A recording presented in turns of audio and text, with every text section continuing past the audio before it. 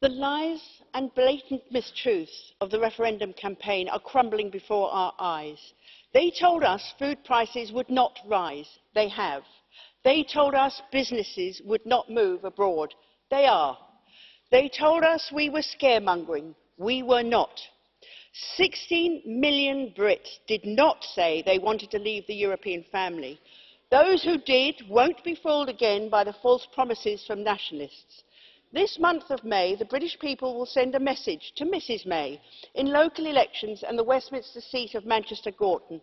That message reads loud and clear. You lied to us.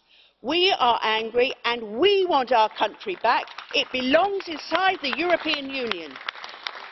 As a Liberal Democrat, I will continue to fight against Brexit and to give the people a final say on the, deal. I am proud of this House uniting with a positive but firm resolution. It is fair, it is just, and it is very European. And if the deal goes badly, the British people will welcome the chance to revoke Brexit and Article 50 and vote to remain. Thank you, Madam Chairman.